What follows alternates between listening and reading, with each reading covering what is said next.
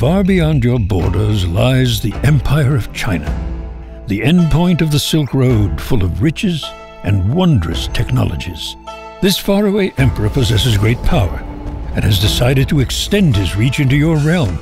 But it's not too late to divert the dragon's wrath or earn his grace through well-chosen gifts. A placid subject will quickly win the approval of the emperor, and he may even support you should you find yourself under attack.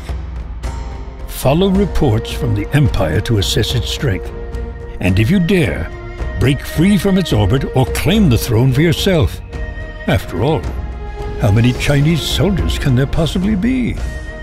Crusader Kings 2 Jade Dragon out now.